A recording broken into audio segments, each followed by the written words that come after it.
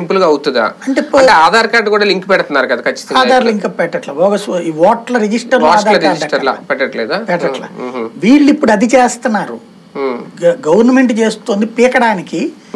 Aadhaar link up చేపిస్తుంది ప్రతి ఇంటికి volunteer ద్వారా. మ్మ్. చేపించేటప్పటికి బోగస్ ఓట్లు బయటపడ్డాయి. ఓటర్ ఓటర్ ఆధార్ అనుసంధానం అనేటువంటిది ఐచ్ఛికం పెట్టారు. కంపల్సరీ పెట్టలా. కంపల్సరీ పెట్టకపోవడం వలన. వీళ్ళు మాత్రం ఏం చేశారు వాలంటీర్ ద్వారా ప్రతి ఇంటికి వెరిఫై చేసి వాళ్ళ ఓటుకి వరకు ఆధార్ అనుసంధానం చేసేస్తున్నారు. లేనటువంటి వాళ్ళ ఓటు పోతుంది.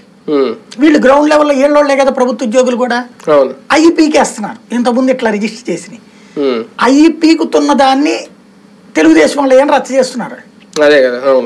నీకు సంక్షేమ పథకాల దగ్గర ఆధార్ అనుసంధానం అయ్యాక లేనటువంటి వాడిది ఎట్లా కౌంట్ అవుతుంది అక్కడ నీకు. ప్రాక్టికల్గా అది సీన్ నడుస్తుంది ఇప్పుడు రాష్ట్రంలో. అంటే ఇది ఆధార్ ఎంటర్ చేయాలంటే కేంద్రం తీసుకోవాలా డెసిషన్ ఆధార్ తప్పనిసరి ఓటర్ అంటే వాళ్ళు క్రిందసారి చేద్దాం అనుకుంటే కోర్టులు అడ్డుపడ్డాయి. బ్యాంకులకు కూడా ఐచ్ఛికం వద్దన్నారు. వీళ్ళు చేసినట్టున్నారు కదా రాష్ట్ర ప్రభుత్వం. ప్రభుత్వం కూడా చేయాలి. ప్రభుత్వానికి అధికారం లేదు. కోర్టు ఒప్పుకోదు. అందుకనే వీళ్ళ ద్వారా వాలంటీర్ల ద్వారా చేయిస్తున్నారు ఆ పని. మ్మ్. మ్మ్. లేదమ్మా పెట్టాలని వాలంటీర్ చెప్తున్నాడు. అంతేగాని ఎన్నికల సంఘం ప్రకారం. అలా అనుకుంటే ఎవరు అధికారంలోకి వచ్చినా వాళ్ళు ఇలాగ బోగస్ ఓట్లు లక్షల్లో చేర్చేయచ్చు కదా ఏముంది చేస్తారు ఇప్పుడు అదే కదా దాన్నే కదా మళ్ళీ ఎన్నికల సంఘం దాన్ని వెరిఫై చేయ ఆపాలి. అయితే లేని వాడికి ఇవ్వలేరు. ఇప్పుడు ఈ అధికారంలో ఉన్నోడు కూడా తనకి ఇక్కడ కాకుండా పక్క నియోజకవర్గంలో అవసరము అని తీసుకెళ్ళాలి.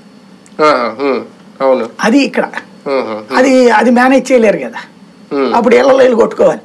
యారా నువ్వు యాభై పదిహేను వేల ఓట్లు ఉన్నాయి నా దగ్గరికి పంపించాడు అనుకో. ఇక్కడ ఓ ఇక్కడ తగ్గుతున్నాయి ఓట్లు అనుకున్నప్పుడు అక్కడికి వేయించాలి. ఈడు ఓడిపోతాను అనుకున్నప్పుడు ఈడు ఎందుకు పంపిస్తాడు పక్కనోడికి? ఇట్లా లీడ్ తీసుకునేవాడు. అది. అంటే ఎక్కువ ఇది వైసీపీలోను టీడీపీలోనే కనిపిస్తున్నాయి. వాళ్ళ ఓటర్లు. ఇంకా జనసేనకి ఇది తెలియదేమో అంటే ఇంకా క్యాడర్ని బట్టి ఉంటది. తెలుగుదేశానికి క్యాడర్ శక్తి ఉంది. వైసీపీ వాళ్ళకి అనుచరుల శక్తి ఉంది. తెలుగుదేశం క్యాడర్